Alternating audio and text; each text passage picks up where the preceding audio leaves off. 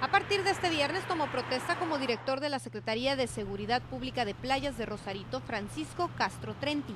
Después de casi cinco años donde la corporación estuvo dirigida por un militar, una vez más pasó a un mando civil donde se tendrá una reestructuración. Se van a continuar y se van a reforzar algunos de los, de los proyectos que se venían manejando, otros por supuesto se van, a, se van a reestructurar y algunos se van a eliminar para incrementar otros o para establecer otros. El compromiso fundamental es, eh, es seguir en el mismo sentido, primero de coordinación con todos los, los órdenes de gobierno, con las autoridades militares, las autoridades estatales y las autoridades locales. La estrategia es contener y abatir los índices delictivos que aquejan al quinto municipio, como es el orden común, ya que los crímenes de alto impacto han disminuido. Básicamente el, robo, el robo domiciliario, el robo de vehículo, es esa delincuencia común que de alguna manera está, está afectando en, las áreas eh, urbanas y conurbadas. Eh, es la principal afectación. En cuanto a la incidencia de delitos de alto impacto, han, han, han disminuido.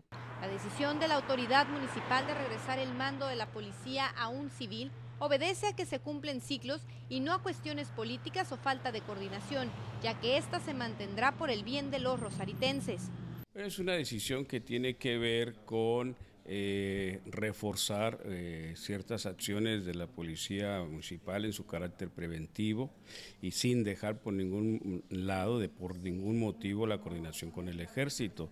Eh, al contrario, esta, insisto, es una relación dentro de la coordinación de seguridad pública que ha mantenido el alcalde y todos los ayuntamientos y es una situación que tiene que ver más con eh, eh, decisiones de tipo de estrategias y de atender eh, programas y priorización. La finalidad es que los ciudadanos de Playas de Rosarito recuperen la confianza en sus autoridades. Además, el nuevo director de Seguridad Pública manifestó que continuará con la depuración policíaca para garantizar un municipio seguro. En síntesis informan Rubén Navarro y Fernanda López Treviño.